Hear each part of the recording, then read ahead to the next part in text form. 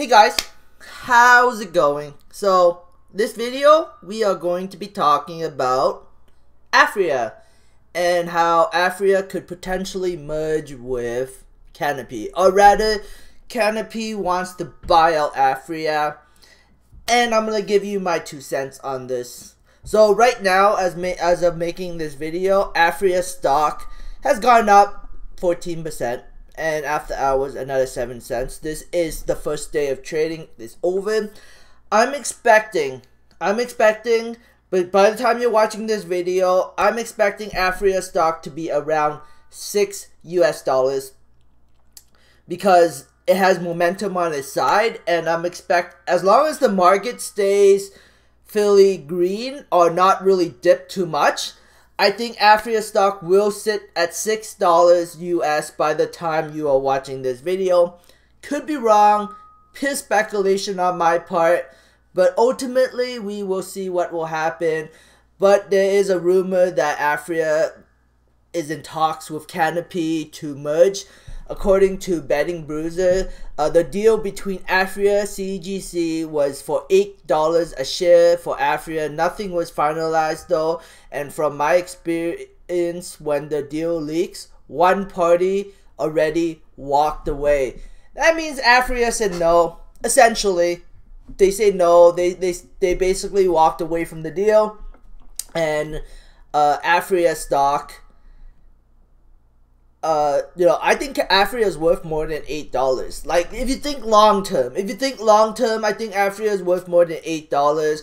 Uh, simply because, um, they are set up to be a global company once Europe goes legal and they are able to ship product from Canada to Europe and also built they also have some facilities built in they have a facility built in Germany and they're probably gonna you know build more facilities throughout Europe. So Aphria is set up very well for global legalization except for the United States. That's a little they don't have any uh, attachments to the United States. They did with Liberty Health Science but they had to sell that off. So they can always go back and buy out liberal Liberty Health Science in the future.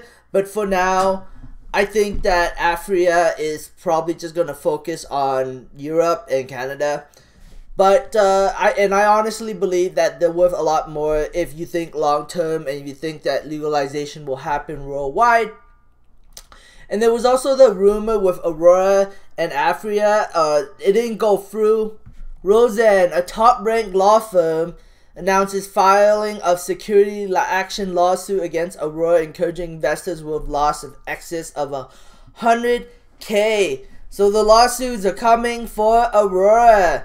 It sucks, but you know that's what happens when stock price goes down. People lose money, and lawyers come out and they be like, you know what? We're gonna help the people to recover some of the money because people you know, but at the end of the day, like, let's be honest, investing into any kind of business is risky and things, bad things can happen. And, you know, when bad things happen, lawyers come out.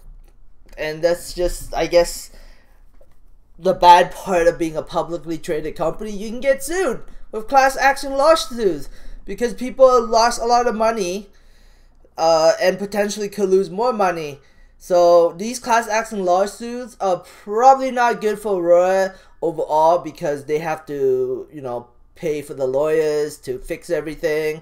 Unless the unless the stock price recovers, and then the lawsuit might might go away. But for now, it's here to stay because a lot of people lost a lot of money in Aurora. So because people wanted to believe long term and then cut their losses unfortunately, that's just the reality of it. Sometimes business don't go the way you want. But anyways, uh, this is a good thing with Aurora and Aphria, uh, like in talks. That means that the big shareholders, big money, people who have a lot of shares in this company, uh, in Aphria stock, they are they're probably talking amongst themselves. Like for example, Ryan Cohen with GameStop uh, let me just pull up GameStop here. So Ryan Cohen invested in GameStop, and on top of that, he is also making an attempt to help the company change its business model to be more of an Amazon style. It's similar with Aphria and Aurora. There's shareholders in Aphria and Aurora that are talking to the, the to the management, figuring a way to recover the stock price because that's ultimately at the end of the day all companies care about their stock price. Or they should care about their stock price. They should care about the company. They should care about the overall sentiment of the company. And right now aurora has extremely negative sentiment. Why? Because the old management overspent and uh completely underperformed which caused the stock price to collapse. But this is the stock market we're talking about. If Aurora can show investors that, hey, we are doing better, we are recovering, we're profitable, and the stock price recovers, uh, then, you know, this could be a, the biggest turnaround story uh, of all time. But it's it's a tough thing to do, and I'm kind of getting sidetracked a little bit, but yeah, so Aurora is always looking for ways to merge with another company or a way to try to recover their stock price. That's like that's what they're doing. So there's always there's talks in the background, and I'm assuming that Canopy talked to Aphria, and because Aphria is such a well-run business that maybe they're like, okay, you know what, if we can't beat them, you know, join them because if Aphria is gone, Canopy loses competition.